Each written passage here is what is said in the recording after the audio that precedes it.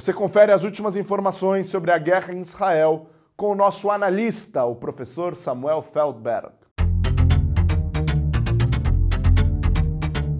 Olá, eu sou o professor Samuel Feldberg com as notícias de Israel desta semana.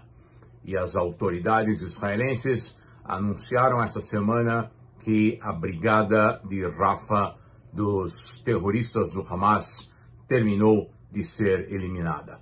Mais de 2.300 terroristas foram eliminados, nove túneis que faziam a conexão entre o território do Sinai no Egito e a faixa de Gaza foram totalmente destruídos, assim como 13 quilômetros de túneis conectados a eles.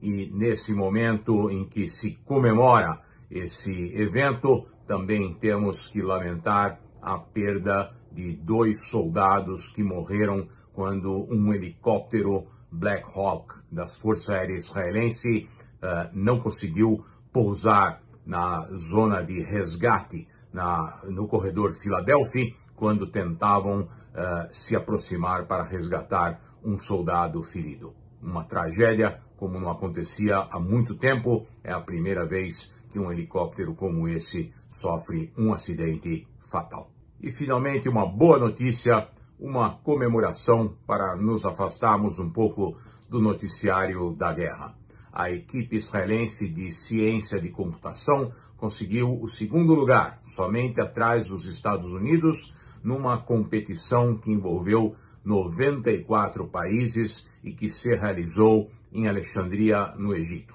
Por razões óbvias do que ocorre no momento, os israelenses participaram à distância, mas foram o destaque deste evento e realmente demonstram a capacidade do sistema educacional israelense. Dois dos alunos participantes ganharam medalhas tanto na competição de ciências da computação quanto na Olimpíada de Matemática, um deles aluno de uma yeshiva de Zichron Yaakov.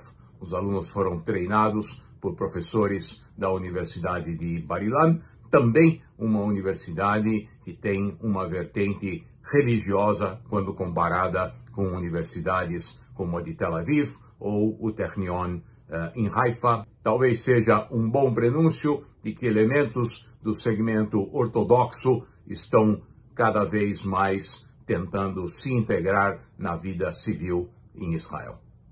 É isso por hoje. Nos vemos na próxima semana.